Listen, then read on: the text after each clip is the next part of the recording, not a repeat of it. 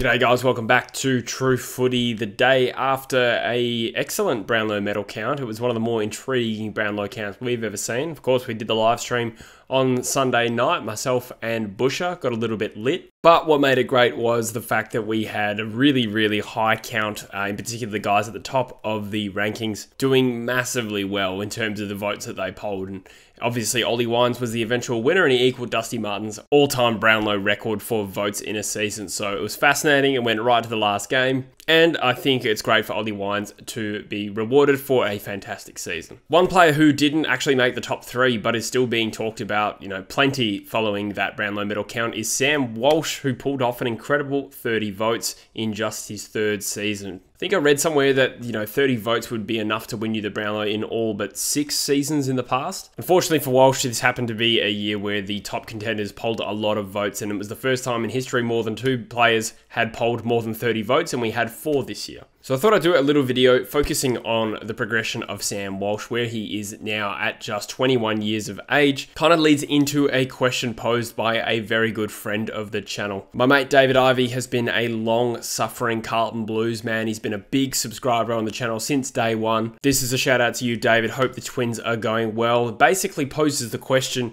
is Sam Walsh the best 21 year old we've ever seen? It's a really hard question to answer, but in today's video, I'm having a little crack at sort of comparing Sam Walsh against some of the other modern day AFL greats at the same age. Now, for those who don't know, Sam Walsh was pick number one in the 2018 draft, and in his first season was the Runaway Rising Star Award winner. He copped the nomination in round four of that season. He went on to average an impressive 25 disposals, 10 contested possessions, 5 marks, and 3 tackles a game, which is ridiculous. And he played all 22 games in his first season. On top of that, he finished 2019 as the record holder for most disposals won by a first year player in a given season. He was almost unanimously the Rising Star winner. He received 54 out of a possible 55 votes. So it was one of the best Rising Star seasons we've ever seen. And the conversation was at the time just how far far can this kid go? Well, you fast forward to where we are today, and he's just averaged 30 disposals a game this season and five clearances. He's come fourth in the Brownlow medal, and he single handedly carried that Carlton midfield all year.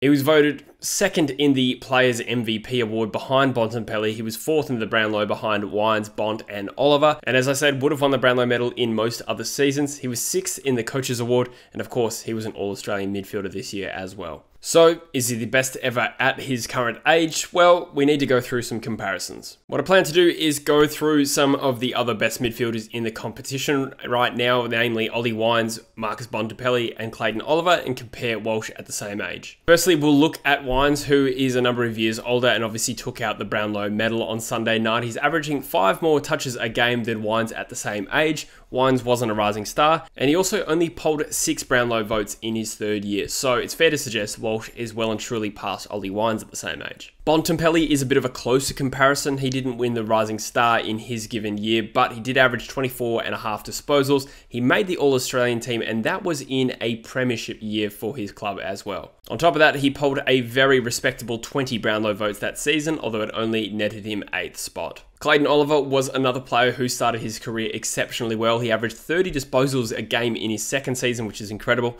and then 29 a game in his third. He won a BNF in just his second season in 2017 in a side that finished ninth, and he polled 13 votes in the Brownlow in his third season. So while Bont and Oliver were a little bit more comparable to Walsh in terms of what they've achieved at the same age, I'd probably give the points narrowly to Walsh against those three. So expanding that analysis further, let's have a look at some of the modern day greats. These are the Brownlow giants, I've kind of labeled them here. These are the guys that kind of have dominated the conversation for who's the best player in the game over the last, I don't know, five years. I'm talking about Dustin Martin, Patrick Dangerfield, and Nat Fyfe. First of all, we'll talk about Dustin Martin and, you know, looking at where he is now in his career, it's hard to imagine a time where he wasn't lauded as an absolute legend, but it actually took until 2016, the year in which he turned 25, for him to really make his mark as an elite player in the game. Well, you could see the signs that he was going to be a very, very good footballer one day. He hadn't quite clicked in the way that he eventually would. He was still pretty good, polling a respectable 23 votes across the first three years of his career combined, but he hadn't won an All-Australian or a BNF in his first three years. Patrick Dangerfield was drafted underage in 2007 as a 17 year old, so we'll expand his scope to his first four years, I think is fair. Regardless, he was a pretty raw play in those years. From memory, may not have actually built the tank to be a full time midfielder, but he never averaged more than 17 possessions a game and accrued just nine votes in those four seasons. So, fair to suggest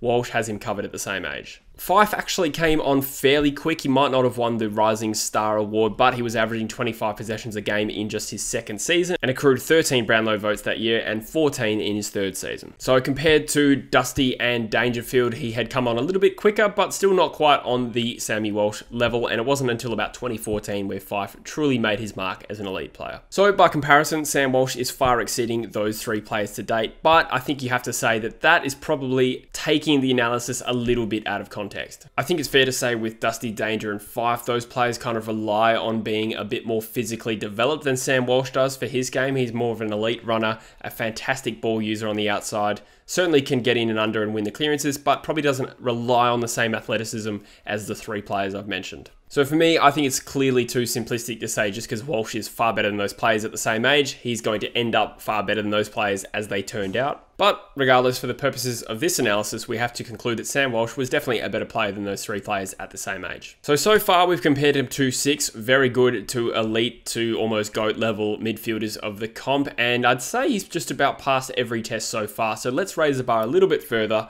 and compare him to Gary Ablett Jr., Chris Judd, and Lance Franklin. Now, Gary Ablett Jr. is probably not the greatest comparison either. He did start his career slowly as a, a small forward, averaging mid-teen disposals and picking up a handful of Brownlow votes in his first three years. His improvement was non-linear, and I think in about 2007 he really, really exploded it into being probably one of the best players we've ever seen. Judd, for me, is the most interesting of comparisons. He was drafted pretty ready-made to the West Coast Eagles back in 2001. He only missed one game in his first three seasons, and for the record, Sam Walsh, I believe, has played every game in those three seasons. Now, similar to Sam Walsh, it would be Chris Judd's third season in the competition where he would truly break out as an elite player of the competition, claiming his first All Australian. Similar to Walsh, he would also be the runner up MVP in his third season. And again, like Walsh, in that third season, he would poll 30 Brownlow votes, but the difference being he actually won the Brownlow medal. Now, there is a bit of an argument to suggest that modern day votes are a little bit inflated. It seems like the average votes needed to win the Brownlow is a lot higher, and you can sort of cast your own theories about that. Are the best players simply getting more dominant? I'm probably not inclined to buy that straight off the bat. Are they getting noticed more?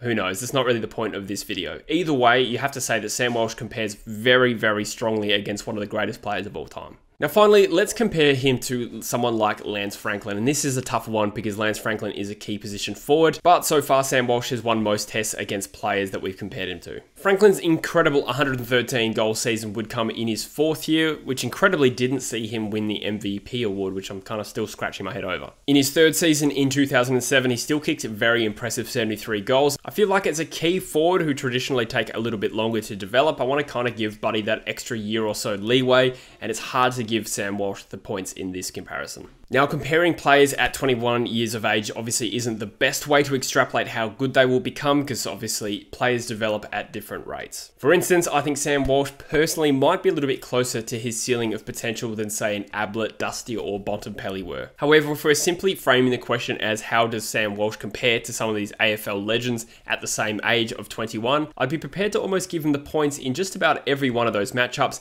except probably Chris Judd and Lance Franklin. Now that's not me knocking Sam Walsh As such. I obviously think his ceiling is extremely high, but he's just already not that far from it. But that doesn't mean his ceiling's low because he's almost a Brownlow level quality player as it is. In fact, I think it's a very safe bet that Sam Walsh wins at least one Brownlow medal, if not multiple, in his career at Carlton. I guess the thing with Walsh that makes him a little bit different to some of those players is that with his supreme outside running game and his extremely good ball use, I don't know if his game really goes up a few notches if he simply gets a more mature body. I don't know if he's really reliant on that, which is kind of my theory as to why, you know, he's playing so well at such a young age compared to, say, a Christian Petracca or a Dusty Martin were at that age. However, it's a safe bet. Sam Walsh is going to be an elite midfielder for a long time to come. He's going to be a regular 35 possession ball winning, damaging inside out midfielder before too long, and Carlton are very lucky to have him. Anyway, guys, that was my little cracker at comparing Sam Walsh to some of the legends of the game at the same age. Let me know in the comments what you think of my analysis, whether some players you missed out and that you think should be compared to Walsh. I'm sure there's plenty you could probably conjure as well, but there's obviously so many players I can fit into a single video, so I tried to stick with the modern day greats, the goats of bygone eras, and then the old time legends like your Judds, Franklins, etc. As always, guys, if you're enjoying the content, I'd appreciate you consider subscribing to the channel. Please like the video if you enjoyed it, and I'll see you in the next one. Thanks, guys.